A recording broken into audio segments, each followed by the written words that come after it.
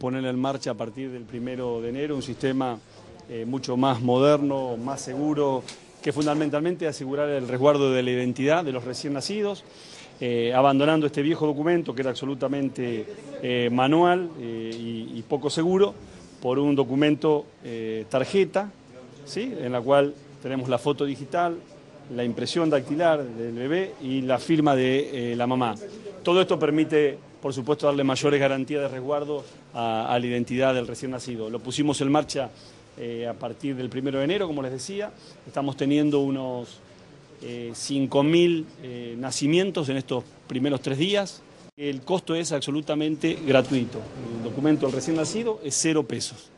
Sabíamos de, la calidad y la experiencia del equipo médico que, que la operaba a Cristina y después de la fuerza de Cristina. Así que bueno, eh, contentos que todo haya salido eh, dentro de lo previsto, que esté evolucionando muy bien, va a haber un parte médico en unos eh, minutos. Bueno, y agradecerle al pueblo argentino todas las muestras de, solidaridad para que, bueno, que la presidenta se reponga rápidamente. Nosotros lo que hemos sí avalado es el apoyo a quien hasta hace pocos días atrás era el vicegobernador, como así lo establece la Constitución, para que se haga cargo de la mayor responsabilidad, que es conducir la, provincia, y bueno, y darle todo nuestro apoyo eh, para que eh, las cosas dentro de, este trance tan difícil que le está tocando vivir a la, familia de Soria y a la provincia de Río Negro pueda darse con total normalidad y con total apoyo de parte del Gobierno Nacional. Está claro que la potestad de la fijación de la tarifa de, de subtes